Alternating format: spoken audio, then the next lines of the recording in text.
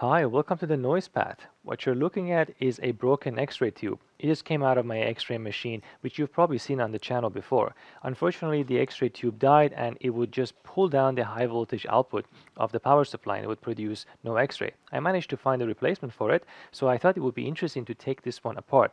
Now it looks like it's molded, so we would have to just basically cut it out. Now of course it's glass inside, and at the bottom Right here we have the beryllium window. And you got to be careful with this because beryllium dust is quite harmful for your lungs. There's even a warning here on top of it. If you also remember from when I repaired my x-ray machine the first time on camera, it had this board in it. And this board is that controls the focusing mechanism and some of the other deflection plates inside of the x-ray tube itself. So the high voltage input comes from here up to 35,000 volts for this particular tube and all the control lines are here. The heater is also coming from this, and this is a silicone cable because these power supply modules go up to one and a half kilovolt.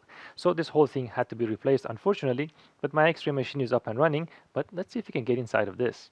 A nice feature of this particular tube was that it could create a really small X-ray focus point and that had a few advantages. First of all, it would create a nice illumination plane and then you could elevate your sample and bring it closer to the opening of the X-ray tube and get magnification. Not to mention that the size of that spot will determine your ultimate resolution. So I could get really nice sharp images and you could adjust that focusing by playing with some of the potentiometers in here and that would change the voltages and ultimately create the focus.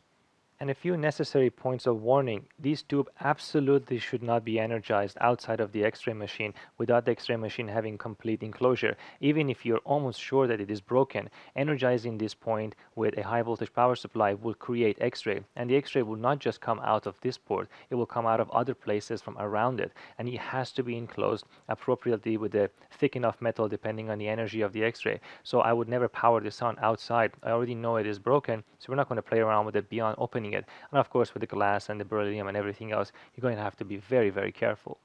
Well, that was an ordeal, and I have to say, I only cried a few times, but I finally managed to get almost everything off the tube.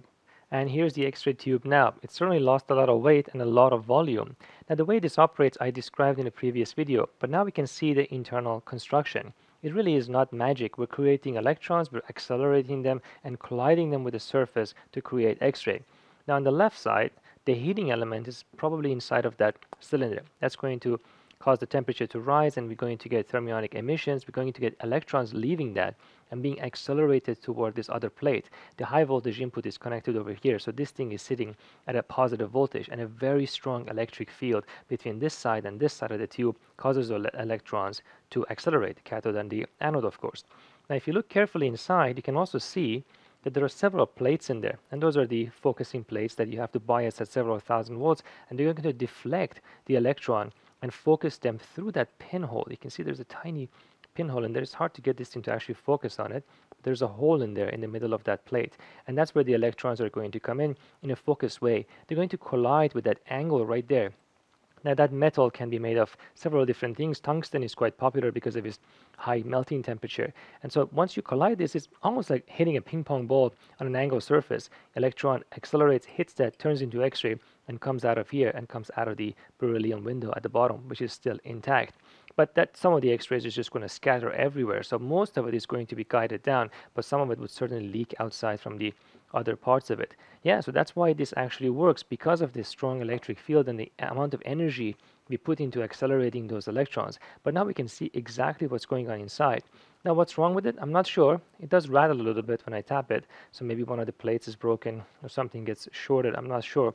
But it looks really cool now that we can see inside of it. Now we can also turn on the heater and see it glow and this obviously does not produce any x-rays. It's no different than turning on an incandescent light bulb because we have no high voltage here to accelerate the electrons. But maybe if you peek through there we might be able to see it glow. Okay let's go ahead and give it a try. Turn it on put an amp through it and then maybe it will glow. There it is. Look at that. There we go. We can see it indeed glow in the background yeah, so the element is certainly working. The problem is something else that's causing the high voltage power supply to clamp down.